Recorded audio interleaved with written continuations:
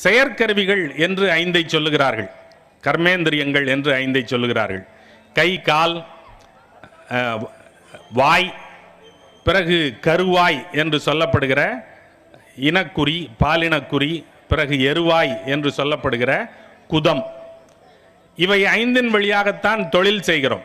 கையினால் கொடுக்கிறோம் அல்லது வாங்குகிறோம் காலினால் இடம்பெயர்கிறோம் வாயினால் பேசுகிறோம் உண்கிறோம் இனப்பெருக்க குறியினால் இனப்பெருக்கம் செய்கிறோம் மலவாயினால் மலங்கழிக்கிறோம். நாம் செய்கிற தொழில்கள் இவை ஐந்து தான்.